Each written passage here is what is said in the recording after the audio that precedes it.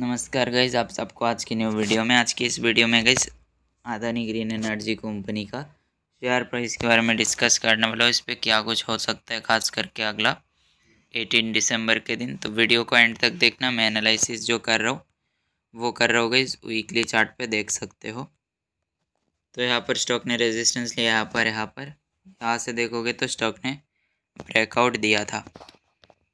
तो गई इसका आप लोग काफ़ी स्ट्रॉन्ग जो सबसे पहला रेजिस्टेंस को फॉलो कर सकते हो, जो कि one thousand five hundred seventy five point seventy five पे देखने को मिल रहा है।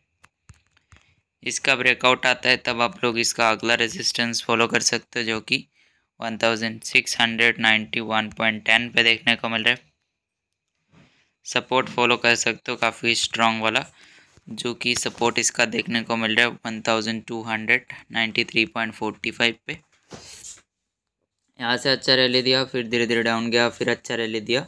यहाँ पे ये जो टॉप पे जाके एक हैमर जैसा बनता हुआ देखने को मिल रहा है। तो नेक्स्ट वीक पे गाइस वापस अदर इंटरप्राइजेस पे रिजेक्शन देखने को मिल सकता है।